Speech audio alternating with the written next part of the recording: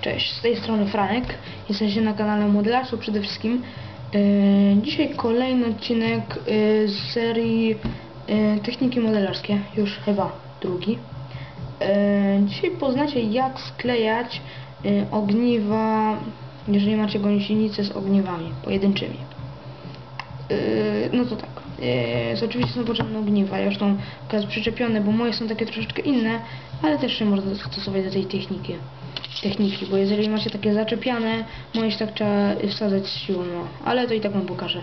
Yy, Potrzebne są oczywiście ogniwa, już wyczyszczone, ładne. Potrzebna jest oczywiście jakaś taśma. To jest akurat taka taśma do zabezpieczania yy, podczas yy, malowania jakichś pokoi. I potrzebne wam będą nożyczki. Mm, No to tak, zaczynamy. A, i będzie Wam potrzebna jakaś jeszcze e, linijka. To tak, układacie sobie to wszystko. Układacie i teraz tak, bierzecie kawałek taśmy. No oczywiście też, żeby to było lepiej jakaś inna taśma, bo moja jest taka akurat, no. E, Wycinacie sobie dwa takie kawałeczki, takie krótsze. O, cyk. Odkładacie sobie na bok. Cyk. I wycinacie sobie taki jeden dłuższy. Gdzieś, no taka długość wystarczy. Wkładacie taśmę. Ten kawałek taśmy kładziecie. Nie jest to proste, no ale cóż. Kładziecie, bierzecie kawałek taśmy. Przyklejacie go tutaj. Hop. Bierzecie drugi kawałek taśmy. I tu przyklejacie. Czekajcie. O. Gotowe. Kładziecie sobie linijkę. Nie wiem, czy to będzie wszystko widać. Poczekajcie, wezmę kamerę.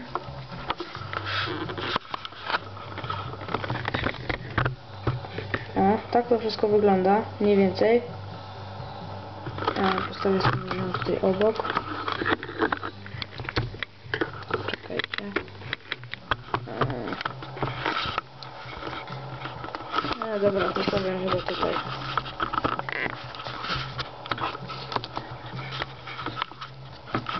Szczerze powiedziawszy, nie wiem, czy widać. Eee, trudno.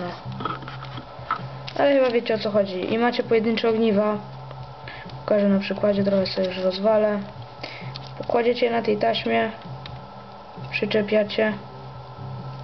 Linijka wam będzie służyć jako do prostowania. No moje niestety trzeba i tak w powietrzu przyklejać, ale i tak to jest bardzo dobry patent.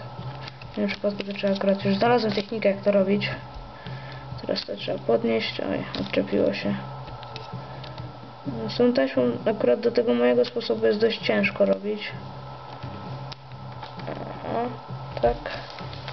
Ale w sumie to już się na mnie rozwali. Jak już raz położycie dość mocno, szczepicie tak jak będziecie chcieli to już raczej powinno się nie rozwalić.